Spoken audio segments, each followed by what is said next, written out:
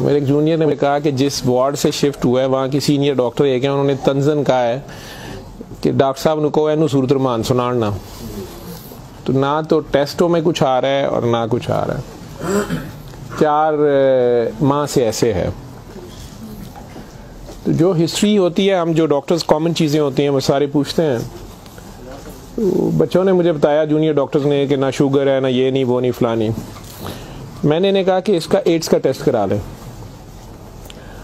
तो बच्चों ने कहा कि जी, पिछले साल इसका एड्स का टेस्ट म्यो हॉस्पिटल में हुआ था, तब भी इसको इसी तरह डायरिया लगा था।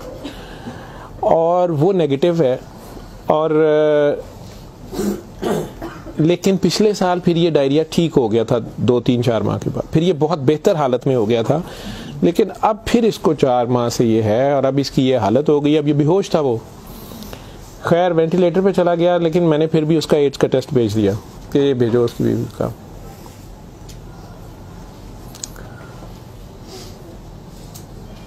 सूर्य रहमान हमारे आईसीयू में वैसे ही लगती है, सुबह, दोपहर, शाम। कई बार मिस हो जाए दिन में कम से कम एक बार ज़रूर लग जाती है, कोई ना कोई डॉक्टर नर्स ड्यूटी अपनी समझ के उसको लगा देते हैं। वो भी लग रही थी, सारे पेशेंट्स थे। जहाँ तक जितनी मेरी याददाश्त साथ देती है कि तीसरा दिन था तो मेरी जूनियर डॉक्टर का मुझे फ़ोन आया, बड़ा पैनिकी उसने कहा कि, सर, ये पेशेंट जो है, इसकी हालत तो ख़राब ही है, वैसे ही है, बेहतर नहीं हो रहा ये वाला पेशेंट इस पर अचानक एक चेंज आई है कि ये सूर्य रहमान जब भी लगती है, मैंने नोट किया है। लेकिन नर्सेज सुबह से बता रहे थे, लेकिन मैंने ये नोट किया अब कि जब भी लगती है इसके नाक, मुँह से वैसे उसके पाइप डाला हुआ था, फेफड़े, हम सांस उसको मशीन, सांस वाली मशीन से जो है ना वो उसके लिए पाइप डाला हुआ था। नाक में भी एक नाली थी मैदे के लिए, बेहोश था। उसने कहा, जी, इसके नाक में से सुंडियाँ उबलना शुरू हो जाती हैं बाहर को। और नर्सेज इसके ऊपर ड्यूटी करने से तंग हो रहे हैं तो अब शक्कर एक मशीन होती है जिससे हम मरीज़ के अंदर से एक बलगम निकालते हैं। जो नेगेटिव प्रेशर से सक करती है। वो तो सर इसको हम सक करते हैं, लेकिन ये नहीं समझ आ रही कि ये कहाँ से आ रहे हैं। मैंने कहा, इसके मैदे से खींच के देखे, उन्होंने कहा, जी, उधर से नहीं आ रहे मैं इनकी सांस वाली नाली से आ रहे हैं, कि उसमें से भी नहीं आ रहे लेकिन जब सूर्य रहमान बंद करते हैं, ये ख़त्म हो जाते हैं, ये बाहर नज़र नहीं आते। यहाँ हमारी हड्डियों में खाली जगह होती है, उन्हें हम साइनस बोलते हैं डॉक्टर्स तो मैंने कहा, यार, फिर इसके ये साइनस से आ रहे हैं और मेडिकली हम इसे मैगट्स इन्हें कहते हैं हम। शुगर का मरीज़ बेचारा आखिरी स्टेज पे कई बार उसके जख्म बहुत ख़राब हो जाए तो उसमें कीड़े कई बार पड़ जाते हैं, इस तरह। लेकिन ये चीज़ मैंने नहीं सुनी थी, और ना ही उसकी कोई, ना वो शुगर का मरीज़ था, ना कुछ और था। मैंने डॉक्टर साहब से कहा कि आप जो है ना, इसका ये तो अब एंटीबायोटिक्स जा रही हैं, सारा कुछ जा रहा है, वैसे इसके एड्स के टेस्ट का पता करें, वो कब तक आएगा? तो मुझे लग रहा है कि इसकी कुत मुदाफ़ियत कोई नहीं है, और ये कीड़े इस तरह पड़ गए अगले दिन जब मैं राउंड पे आया तो मुझे एक और कहानी पता चली, उन्होंने कहा जी कि इसकी बीवी जो है ना, उसने कल रात को हमारी स्टाफ से लड़ाई की है। और वो क्रिश्चियन हमारी जो स्टाफ है नॉन मुस्लिम शायद उन्हें बड़े गुस्से में उसने कहा कि तुम लोगों ने हमारा मरीज़ ख़राब कर दिया और कीड़े डाल दिए हैं। आप लोगों की केयर अच्छी नहीं है। थी वो बिल्कुल लोअर सोशियो इकोनॉमिक स्टेटस से पुअर जो अनपढ़ तबका जिसे कहते हैं। तो कहती जी उसने काफ़ी शोर डाला है कि मेरा मियाँ तो बिल्कुल ठीक ठाक था, ये कीड़े आप लोगों ने तीन दिन के अंदर डाल दिए तो वो डॉक्टर साहब कहने लगे कि बड़ी, बड़ा अच्छी दलील दी है, जो ड्यूटी डॉक्टर नर्स थी, वो इसको कहने लगी है कि इधर आओ। बल्कि उस नर्स ने, उस नर्स ने हमारी ने नोट किया कि ये सूर्य रहमान जब लगती है तो ये ऐसे होता है। तो उसी ने डॉक्टर को मेंशन किया, लेकिन ये औरत शोर डाल रही थी। तो उन्होंने उसको दूसरे दो मरीजों के पास ले गए। जो हमारे पास पाँच छः महीने से बेहोश, एक के सर में चोट थी तो उसके दिमाग ख़त्म हुआ हुआ, एक को वैसे फालिज से दिमाग ख़त्म हुआ हुआ था तो उन्हें घर भी नहीं ले जाया जा सकता था। तो चार छः माह से वो हमारे पास आईसीयू में है। तो उन्होंने उन्हें कहा कि ये देखो, अगर कीड़े पड़ने होते तो ये छः महीने से हमारे पास हैं। तो इनके तो ज़ख्म भी नहीं है, पीछे बेड सोर बन जाते हैं, कुछ भी है।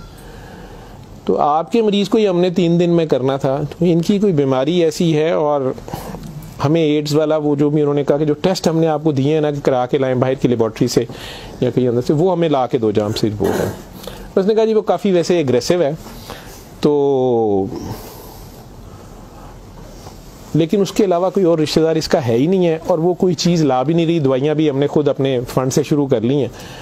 इसका करना क्या है? और मसला ये है कि ये जिस वक्त सूर्य रहमान लगती है तो ये कीड़े इसके, अब तो आँखों से भी कुछ निकले हैं। तो इसके नाक और मुँह से उबलना शुरू हो जाते हैं। लेकिन जब हम बंद करते हैं, थोड़ी देर बाद वो मुँह में कहीं नज़र नहीं आते।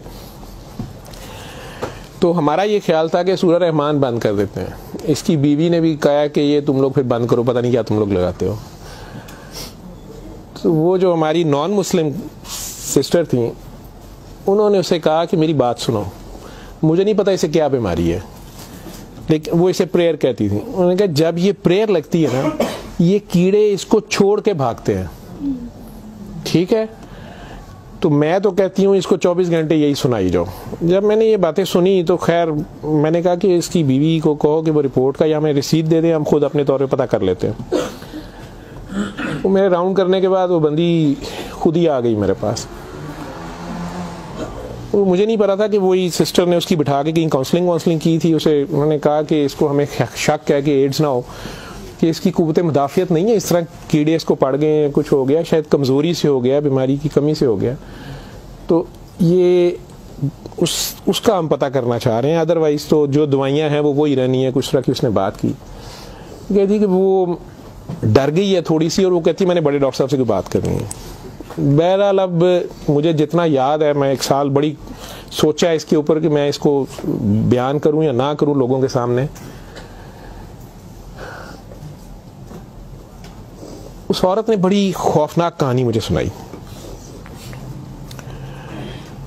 जब उसे ये डर पड़ा ना कि इसको एड्स ना हो और उसको ना एड्स लग गई हो, अब वो मुझे कहने लगी इधर कमरे में आके कि डॉक्टर साहब, ये जो मेरा मियाँ है ना ये असल में जादूगर है। मैंने कहा, आपने तो पहले दिन लिखवाया कि ये रिक्शा चलाता था और रिक्शा ड्राइवर है। उसने कहा, जी, ये रिक्शा ड्राइवर तो है, लेकिन ये जादूगर है, काला जादू करता है, लेकिन करता कुरान से था। मुझे ऐसी आ गई, मैंने कहा कुरान से काला जादू कैसे हो सकता है? बहरहाल टू कट इट शॉर्ट उस औरत की, हमारे वो डॉक्टर्स ने मुझे, चूँकि वो वीडियो मेरे पास, वो सिर्फ़ पड़ी है, जिसमें वो कीड़े प्लेट में हमारी उसे हम डिश कहते हैं, उसमें वो निकाल निकाल के वो डाल रहे थे तो मुझे उन्होंने भेजे कि इसका करना, ये क्या है? पहली रात जब उन्होंने मुझे मैसेज किया रात को व्हाट्सएप पे तो वो वीडियो मेरे पास पड़ी हुई है। और ने मुझे बताया जी कि मैं खुद किसी की बीवी थी। उसकी माँ मुझे बड़ा तंग करती थी और मैं चाहती थी कि ये मेरे अंडर आ जाए। मुझे किसी औरत ने, दूसरी ने बताया हमसाई ने बताया कि ये खामन तुम्हारा गुलाम हो जाएगा, तुम इसके पास चली जाओ। बाकी तफसीलात में मैं नहीं जाता, जो कुछ उसने मुझे बताया, उसने कहा जी कि ये इसका जादू का तोड़ ही नहीं था, और इसका काम लाजमी इसका होता था, ये जैसे भी करता था। तरीकाकार उसने क्या कहा जी, इसने कमरे में अंदर एक गाँव तकिया रखा होता था, उसके ऊपर इसने वो जिस तरह स्माइली होता जो मुझे समझ आई, कि उसने कोई बुत सा बनाया हुआ था, उस कमरे ये बैठाता था। और वो लोगों को पहले तो कुरान शरीफ भी पता नहीं पढ़ने वो कहता था, कुछ करता था, फिर उनकी बात सुनता था, सारा कर करा के जो मुझे उसका तरीका वारदात समझ आया या जो भी था, उसने कहा जी कि जो गरजमंद होता था ना, वो दीवाना औरतें बड़ी दीवानी होती थी, ठीक है, या यंग लड़के लड़कियाँ कि मेरी वहाँ शादी हो जाए, वहाँ हो जाए, औलाद हो जाए, कई लड़के आते थे तो जो उसने सबसे गंदी बात मुझे बताई, बड़ी फजूल जो उसकी हरकत थी या जो भी, वो इस्लाम तो हो ही नहीं सकता। उसने कहा, जी, ये उन औरतों को और अपने बारे में उसने कहा कि मैंने भी ये गलती की। मेरे से भी ये गुनाह हुआ, लेकिन मुझे गुनाह स्वाब का इतना नहीं पता था। तो ये पहले वो तकिए को सजदा कराता था, खुद उसके पीछे खड़ा हो जाता था। फिर वो कहता था कि ये असल में तुम लोगों पे काला जादू हुआ हुआ है। इसको तोड़ने के लिए पता नहीं नूरी बड़ा ज़रूरी है, ठीक है? फिर वो हमें कहता था कि वज़ू करके आओ ठीक है, वज़ू करके आते थे, वो पता नहीं कौन सी सूरत पर वो कई सूरतें मिक्स करता था। ये सब करते कराते एक दो सेशनों के बाद कुछ नहीं लेता था। फिर जो ज़्यादा लोग अपने काम के पीछे दीवाने होते थे, उनको बताता था कि इसमें बड़े पैसे भी लगेंगे, ये जान पे खेलना पड़ना है, पता नहीं क्या करना और तुम्हें भी मेरे साथ करना पड़ेगा, इसमें बड़ा कुछ जो है ना रिस्क है, लेकिन काम तुम्हारा हो जाएगा। वो जो भी उसकी कहानियाँ थी, जो उसको बाद में किसी और वजह से पता चली, जो मुझे वो बता रही थी, कि जी ये औरतों के साथ भी और यंग लड़कों के साथ या मर्दों के साथ भी गलत काम करता था। फिर उन्हें अपना गंद खाने में मजबूर करता था। फिर उन्हें पता नहीं कौन से कोई आयत मतलब आयत बनाई हुई थी या कोई नाम था, पता नहीं क्या, कि अरबी के जी ये पढ़ के ना तुमने ये मिक्सचर जो है ना, ये हंडिया पकाते हुए थोड़ा सा बीच में गंद डाल देना है और अपने खामन को खिला देना है, या उस लड़की को खिला देना है, या उसको खिला देना है। तो मैं अपने खामन के साथ ये सारा कुछ किया मैंने। अब मुझे बताएँ कि जब वो उस बंदे के साथ ही सो गई तो उसके खामन तो वो रहा ही नहीं है ना तो ना वो मुसलमान रही है, ना वो ये हरकतें सारी। अब उसके बाद बकौल इन खातून के, इस लड़की के, कि जी वो खामन जो मेरा था, उसमें तो तब्दीली नहीं आई, उसने मुझे फुल मारना शुरू कर दिया। और, मुझे इसकी, मेरे तड़प इसकी तरफ़ भागती थी, कि मैं इसके पास आऊँ। तो फिर मैंने इसके पास वैसे आना शुरू कर दिया कि मैंने तुम्हारे साथ शादी करनी है। मैंने उधर से तलाक लेनी है, मैंने ये करना है, वो करना है। तो मैं उन्हें बताए बगैर इसके पास आ गई। इसके साथ मैं छः माह रही, इसने कहा कि फिर ऐसे ही रहना पड़ेगा। और इस सारे काम में मैं शामिल हुई। तो इसने वैसे मुझे कहा कि निकाह हो गया हमारा। कुरान शरीफ पे इसने निकाह किया। उसने कहा, हम दोनों की रजामंदी निकाह है। वो पीछे से तलाक लेके नहीं आई। ठीक है? उसके बाद इसको ये डायरिया लग गया। डायरिया लगने के बाद ये कहती है कि जी म्यो अस्पताल में जब हम थे, चार महीने हमें हो गए और बुरा हाल था इसका पिछले साल। तो ये एक दिन मुझे कहने लगा कि मैं कहता हूँ कि मैं अल्लाह से तौबा कर लूँ। अल्लाह मेरी जान बख्शी कर दे तो मैं तौबा करूँ और मैं ना अब रिक्शा ही चला के उसमें जितनी रोटी रोजी होगी, तू मेरे साथ गुजारा कर लेगी। तू भी वापस चली जा अपने खामन के पास, ठीक? और उधर से जाके तलाक ले, ना ले, और ये निकाह नहीं है, और जो भी उसने कहा कि जी हमने तोबा कर ली, बकौल उसके, जो उसकी समझ थी। ये कहती है जी मैं वापस गई मेरे खामन ने फिर मुझे मारा उसने कहा मैं तुम्हें तलाक दे चुका हूँ तुम मेरी तरफ से फारिग हो तुम कहाँ से आई हो ये आई हो इतनी देर बाद आई जो भी आई हो खैर मैं फिर वापस इसके पास आई ये कहती है कि जी वो मैं कोई अड़तालीस घंटे बाद शायद दो दिन बाद वापस आई है म्यो अस्पताल थे डॉक्टर बड़े हैरान सन ये पेट से ठीक हो गया सी ਇਹਦੀ ਟੱਟੀਆਂ ਰੁਕ ਗਈਆਂ ਸਨ उन्होंने क्या दवाई फलानी माफक आ गई है फलानी माफक आ गई है तो ये अपने पैरों पे खड़ा हो गया अगले कोई दस बारह दिनों में उन्होंने छुट्टी दे दी फिर ये मुझे मस्जिद एक में लेके गया वहाँ हमने निकाह किया ठीक है निकाह किया ये रिक्शा चलाना शुरू हो गया तो डॉक्टर साहब छे महीने इन्हें बड़ी मेहनत की है रिक्शा भी चलाया मैं भी कदे सुखी गिली खाते सा चंगा भला सी पर डॉक्टर साहब दुनिया बड़ी ਜ਼ਾਲਮ है ਇਹਦੀ ਸ਼ੋਹਰਤ ਸੀ ਦੁਨੀਆ ਪਿੱਛੇ ਪੈਂਦੀ ਸੀ ਕਹਿੰਦਾ ਸੀ ਮੈਂ ਕੰਮ ਛੱਡ ਛੜਿਆ ਹੈ ਡਾਕਟਰ ਸਾਹਿਬ ਹੁਣ ਫੇਰ ਇੱਕ ਬੱਚੀ ਆਈ ਤੇ ਬੜੀ ਸੋਹਣੀ ਸੀ ਉਹ ਬੜੀ ਰੋਂਦੀ ਸੀ ਉਹਦਾ ਪਤਾ ਨਹੀਂ ਕੀ ਮਸਲਾ ਸੀ ਡਾਕਟਰ ਸਾਹਿਬ ਨੇ ਉਹਦੇ ਨਾਲ ਫੇਰ ਉਹੀ ਕੰਮ ਸ਼ੁਰੂ ਕਰ ਲਿਆ ਇਹਨੇ ਫੇਰ ਉਹੀ ਕੰਮ ਸ਼ੁਰੂ ਕੀਤਾ ਮੈਂ ਇਹਨੂੰ ਪਹਿਲੇ ਕਹਿੰਦੀ ਰਹੀ ਹਾਂ ਲੇਕਿਨ ਡਾਕਟਰ ਸਾਹਿਬ ਇਹਦੇ ਚ ਪੈਸੇ ਬੜੇ ਆਉਂਦੇ ਸਨ ਉਹਦੇ ਬਾਅਦ ਹੁਣ 4 ਮਹੀਨੇ ਤੋਂ ये इसकी ये हालत है और अब ये बेहोश है अब मैं अल्लाह से तोबा करना चाहती हूँ अल्लाह मुझे माफ़ कर दे मुझे तो समझ नहीं थी तो मुझे माफ़ी ले दें और इसका अब क्या बनेगा और क्या नहीं बनेगा? मैंने ये काफ़ी बीच में से सेंसर करके आप लोगों को सारी बात सुनाई है। और मुझे कहती है जो कीड़े इसके अंदर से निकलते हैं, ये क्यों आ रहे हैं? ये कहाँ से आ रहे हैं? मैं कि बीबी, ये मैंने उसे साइनस वगैरह समझाया। मैं कि ये इसके बहुत ज़्यादा खून की कमी है। इसके अंदर जरासीम पड़ गए हैं। जो भी मैं डॉक्टरी तो मैं उसे और क्या मैं उसे कहता?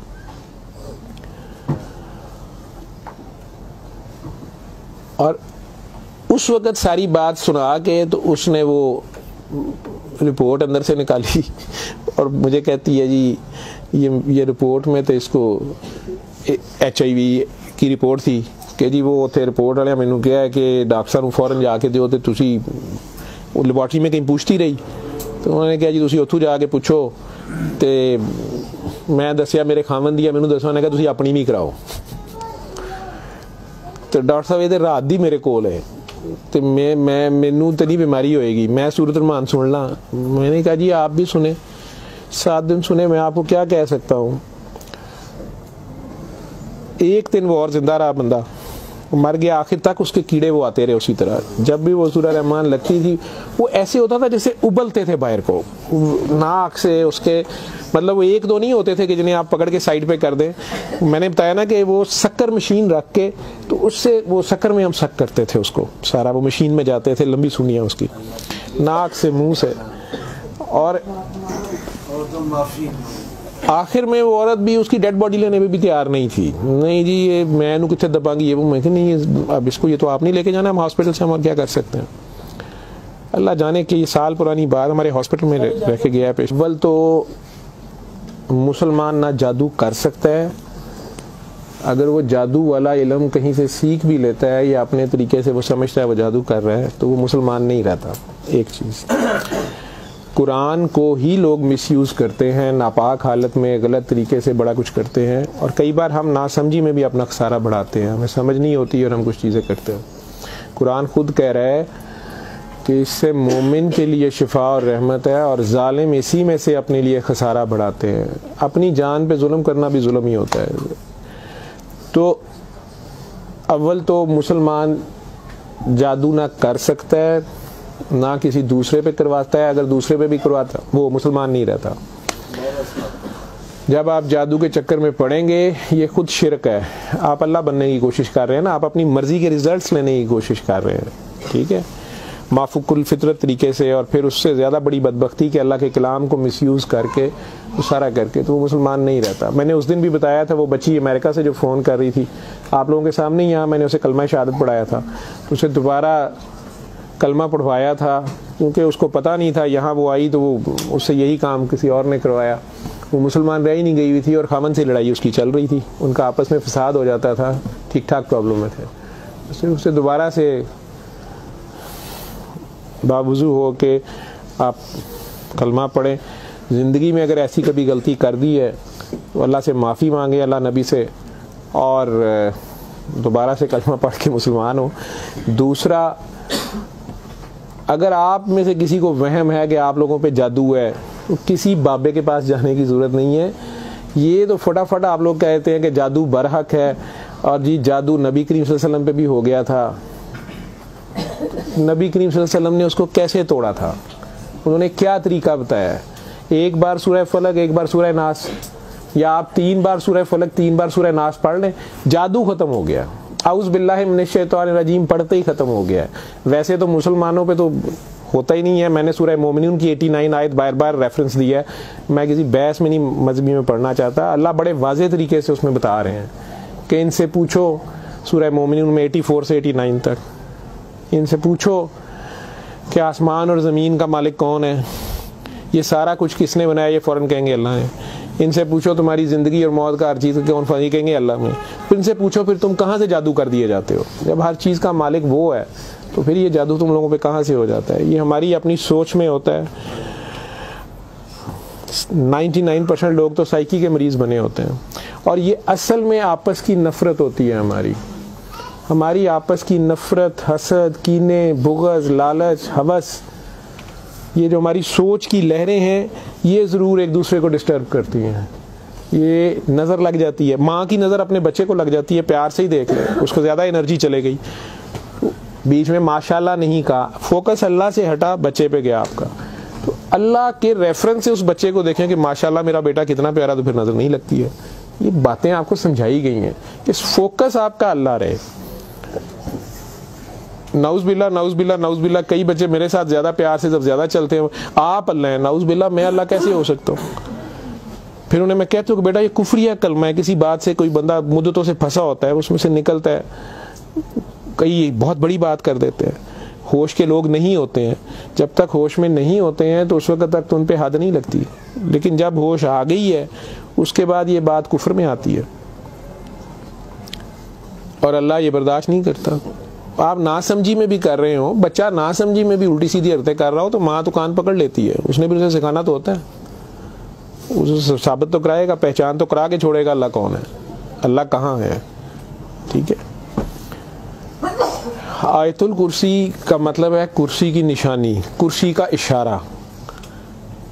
ठीक? जब आप खौफ की हालत में हैं तो वो पढ़ लें। या आपको लगता है कि हमें कोई मसला ना हो तो पढ़ लें। तो उसका मतलब ये नहीं है कि वो आयतल कुर्सी के लफ्ज़ या आयतल कुर्सी के वो वो आपकी हिफाजत करते हैं। उसका मतलब क्या है? अरब्स को तो पता चलता था पढ़ते हुए कि वो क्या कह रहे हैं। तो वो सारी अल्लाह की हमद और अल्लाह की शान बयान हो रही हैं। तो कुर्सी कुर्सी की बात हो